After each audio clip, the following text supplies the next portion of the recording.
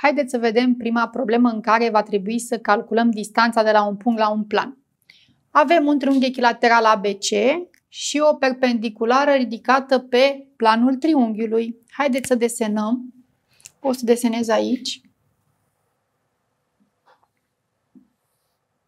ABC și MA perpendiculară pe plan. MA. Bun, știind că MA egal 3 și AB2, în fine, aici trebuia să scriu centimetri. Aflați distanța de la A la planul MBC. Haideți să ducem planul MBC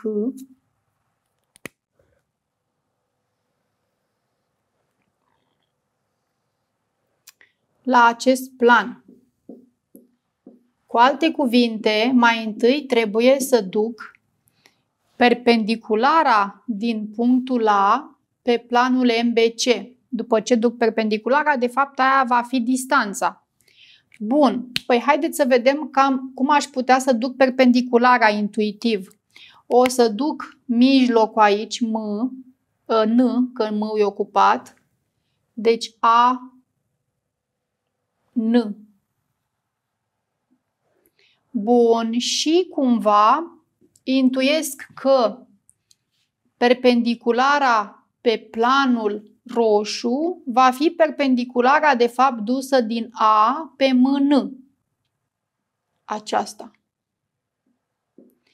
Ca să arăt lucrul acesta, trebuie de fapt să arăt că AP, să spunem, este perpendiculară, desigur, pe două drepte din planul cu roșu. Deja este prin construcție perpendiculară pe AN. Mai am nevoie să fie perpendiculară pe încă una care se intersectează cu AN, cu MN. Bun. Păi haideți să vedem ce știm.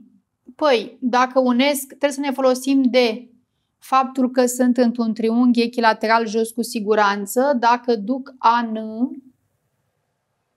vine prin spate așa, AN. Fiind uh, N-ul este, l-am condus eu să fie la mijloc, deci AN e mediană, înseamnă că totodată este și înălțime, deci aici e un unghi de 90 de grade. Ce mai știm altceva? Mai știm că triunghiul cu roșu cu siguranță este isoscel. De ce? Pentru că triunghiurile acestea de pe lături, A, M, B și cel din spate, A, M, C, au cateta AM comună. De ce spun catetă? Că desigur ele au unghi de 90 de grade pentru că M ai perpendiculară pe tot planul. Deci e perpendiculară și pe acestea două, adică dacă desenez așa, ca să le vedem pentru început mai ușor, avem, de exemplu, fața aceasta așa. Vedeți? Asta este M, A, B, cu fața din spate, cu latura aceea din spate, aceasta așa. Ea se vede în spate.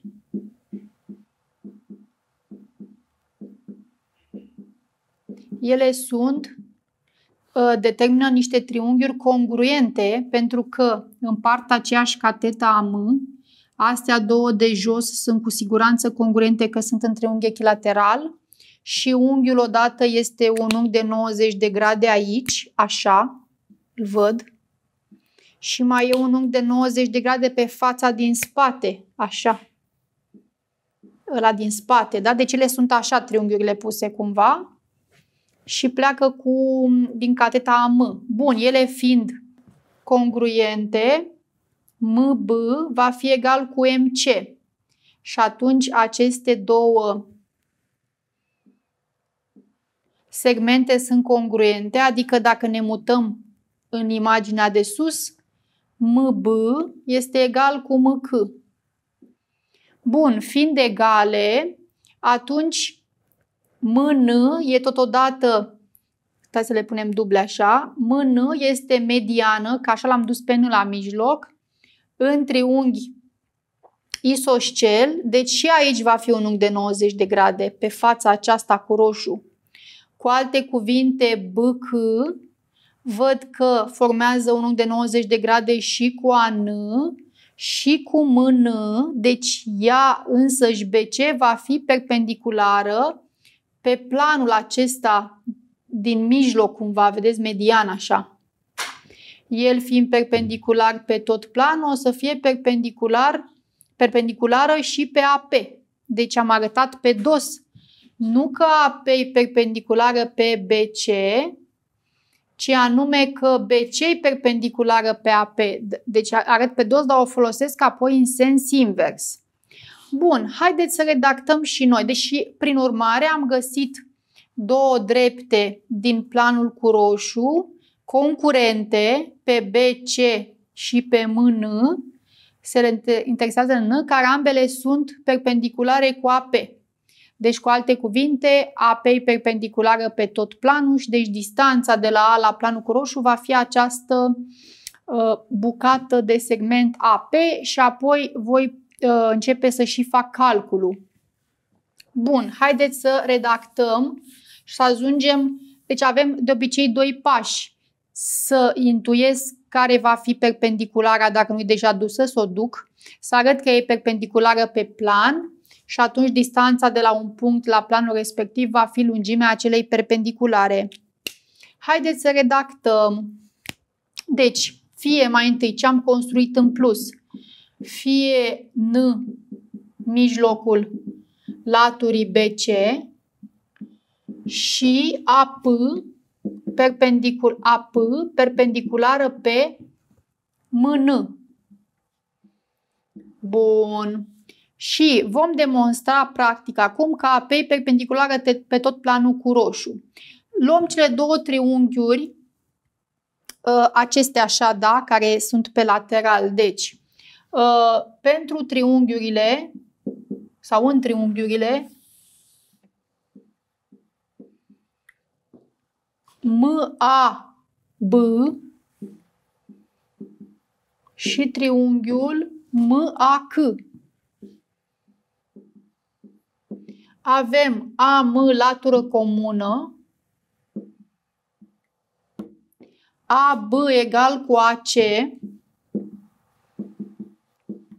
în paranteză că e triunghiul ABC echilateral. Și totodată unghiul MAB este egal cu unghiul